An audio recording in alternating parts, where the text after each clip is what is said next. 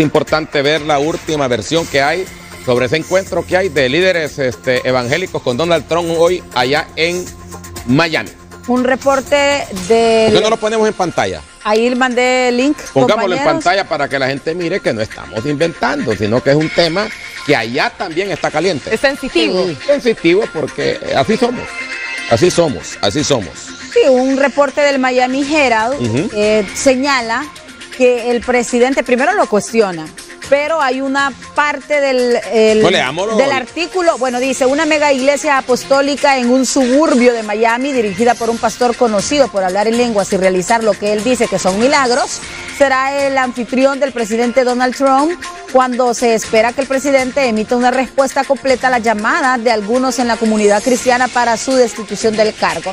La campaña de Trump anunció que los evangélicos planeados para el 3 de enero por el presidente se llevarán a cabo en el Ministerio Internacional Rey Jesús. Se cree que la iglesia West Kendall es una de las congregaciones hispanas más grandes del país y regularmente atrae a miles a sus dramáticos servicios. Dirigido en inglés y español por el fundador Guillermo Maldonado, quien lleva el título de apóstol. Es el buque insignia de una cadena de 10 campus afiliados desde Chicago hasta Homestead y tiene su propia red de transmisión, universidad y una piscina al aire libre para bautizos de inmersión total. El Rey Jesús fue una elección natural para lanzar nuestra coalición evangelista evangélicas para Trump, dijo Kaylan McHenry secretaria nacional de prensa de Trump Victory, en un comunicado al Miami Herald. El apóstol Maldonado es un firme defensor del presidente, lo que refleja el gran y abrumador apoyo que el presidente Trump tiene entre la comunidad evangélica en general. Esto dice la gente de Trump.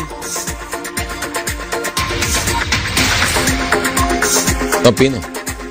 Bueno, seguimos con más noticias. Vamos ahora, Cecia, a lo que nos interesa también este tema del pago del salario mínimo que se está volviendo ya una utopía. Porque ya casi nadie lo paga. Oh. no, hay muchas casi nadie no lo paga. No lo pueden pagar muchas empresas. Y otras, y otras